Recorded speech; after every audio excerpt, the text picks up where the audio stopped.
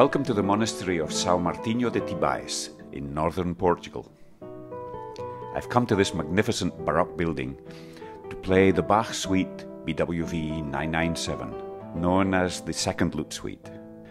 The monastery was founded in the late 11th century and later rebuilt between the 17th and 18th century. In 1567, the Mosteiro de Tibães became the mother house of the Benedictine order in Portugal and its then colony of Brazil. The interior of the church is an extraordinary example of Rococo art, with many gilded wood carvings.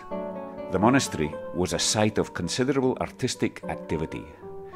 There was a workshop for woodcarvers, masons, sculptors, and other craftsmen. They had an enormous influence on the Baroque and Rococo art in Portugal and the overseas colonies.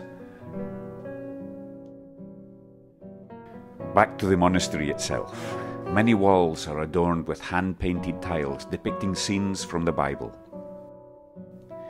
There are long corridors connecting the living quarters of the monks and the abbot.